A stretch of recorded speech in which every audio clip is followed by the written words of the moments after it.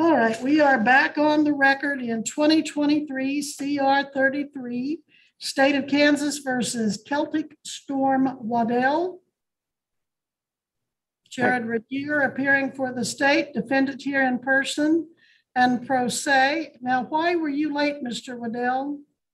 Um, well, last time that uh, I had, um, I did show up on, time, but No, we're not talking I- about last time. I okay. Well, um, Why were you I late just had today? You've got a warrant out for your arrest because you failed to appear this morning. Yeah, why didn't you call, why didn't you answer when I called your name? Why weren't you here? um, I thought it would be okay to to log in a little late because the last time I didn't get called until like 1.30 in the afternoon. So it was just a grave misunderstanding.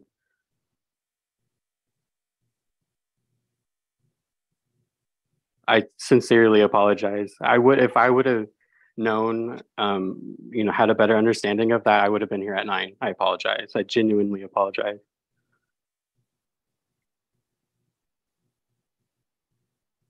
Your bond set at six thousand cash or surety?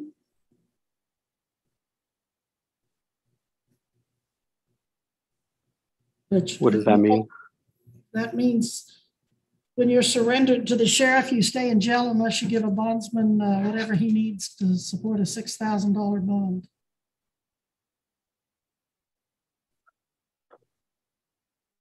Okay. So you're Mm. saying I have to go back to jail? Well, that's generally what happens when you don't come to court when you're supposed to. I, Mr. Mr. I thought it was a, I thought it was a, Okay, hang on. Mr. Regier, do you have any objection to me setting aside the warrant this once? Uh, Your Honor, uh, respectfully, I think I'll defer to the court on that one. It looks like this is the third hearing we've had in this matter. Um, and it looks like the defendant did appear on those previous bonds, but um, I don't think I'm in a position to take a position one way or the other, and I'll defer to the court on that one. All right, Mr. Waddell. Am I pronouncing it right? Is it Waddell? How yes, it's pro- Waddell. Waddell, Yeah. okay. Do you understand now that when they say nine o'clock, they mean nine o'clock when they tell you to appear? I do. I do. Okay. I Even very if it's much a do. docket, even if it's a docket. Okay. I will set aside the bond forfeiture, so your bondsman and you won't lose your money for the first bond. Thank you. You're welcome. Okay. And I will set aside the bench warrant, so you won't have to post a new bond of six thousand. Okay, Thank you. you're welcome.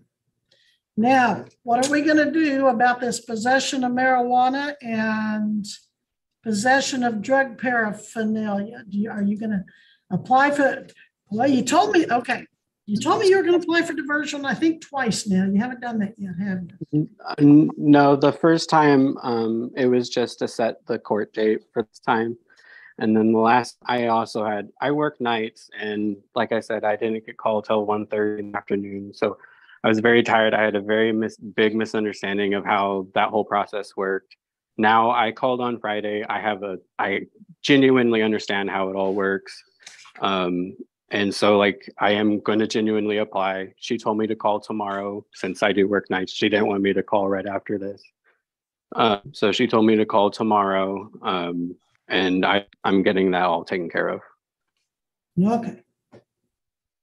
So what you're doing is asking me to set this over because you want to apply for diversion, which is what you told me in March and Mhm. you didn't do. I didn't, I didn't know that I only had 10 days and a lot of things happened and I, Okay, I just I'm- had a deep misunderstanding of everything. I'm going to give you another chance, but let's not have any more misunderstandings. The wrong, I'll get it taken care of and you won't see it again. All right, August 14th, nine AM. You have to be back here unless you and Miss Cool get that diversion worked out and she tells you otherwise. There is a good chance that you could get very that much, and not have to see me again. And I don't think She- really. she told that me, she- she told me that she didn't have a problem with it. All right. On- Okay, so what time, are you- when's your next court date? August fourteenth at nine AM. Okay. What are you gonna do when we're through here? I will probably go to bed, but I will be going to call her tomorrow, like she asked me to. Good answer. Okay, anything else, Mr. Regier?